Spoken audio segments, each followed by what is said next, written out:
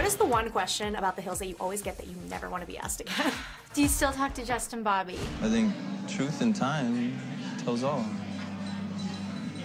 We were dating, and then I, he filmed with me first season. That never aired. Nobody ever saw that. and then we didn't really talk until third season, and then you know we started hanging out again. There was points where there'd be romantic, you know, spots where we would get romantic and be very comfortable.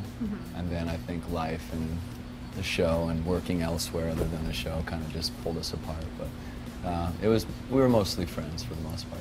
It was hard with Justin because towards the end with him and Kristin and all that stuff, that was definitely kind of fake.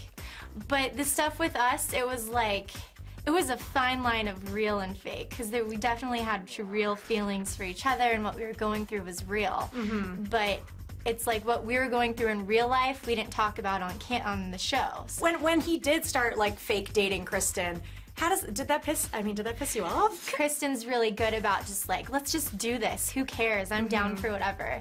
And for me, it was like, there was some real feelings involved with Justin at a time, so I kind of had to get used to it. For me, it was hard separating the two, the fake from the real. So I just took everything to heart, and it was like, the producer's like, Audrina, just do the scene, just this is that, just mentally think this way. I'm like, okay, I will, but it's like, but what if this happens? And I was such a worrywart. What do you think the biggest misconception about you on this show was?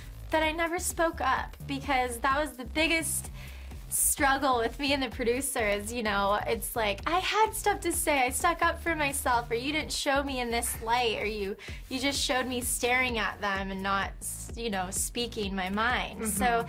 I think that was hard for me. Is that I, I was always shown in a light where I was just kind of sitting there listening all the time and not giving. They would never like let me let my voice out or. Um, right. So with editing, it was tough.